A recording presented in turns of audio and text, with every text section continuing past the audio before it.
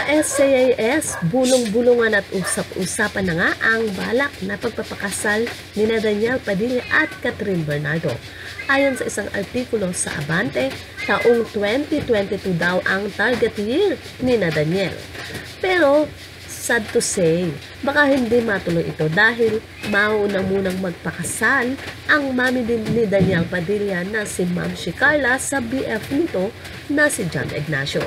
Ayon sa artikulo sa Abante, balak nila na sa Baguio magpakasal.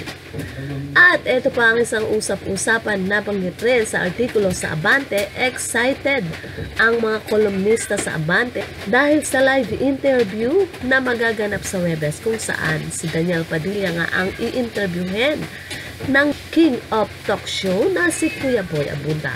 Excited sila sa mga marireveal sa nasabing interview at ang balitang pagpapakasal nga ni na Daniel at Catherine kung saan sinabi nga ni Ma'am Shikarla kay Mami Min na kapag natuloy na ang teleserye, magpapakasal na ang Katniel. Pero baka mauro nga dahil umuubong din ang balita na next year ay magpapakasal na si Ma'am Shikarla at si Jam Ignacio. Sa Baguio nga daw ito magaganap. Iniintay din sa nasabing live interview ang tungkol sa teleserye ng Katniel. Ayon sa chika sa Abante, love story raw ang bagong series ng Katniel.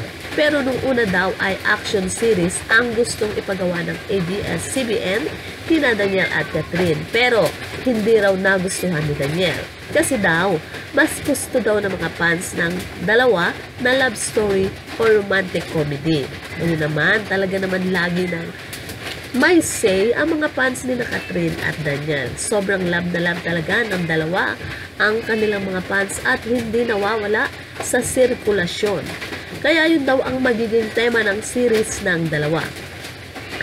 At ang new TV series daw muna ang uunahin ni na Daniel at Catherine at saka isusunod ang The House the Rest of Us online movie series. Wow, ang galing po.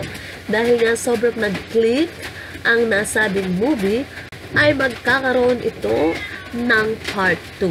Well, inaasahan niya na sa interview ni Kuya Boy Abunda sa Webes kay Daniel ay masasagot na ang issue sa kasalan.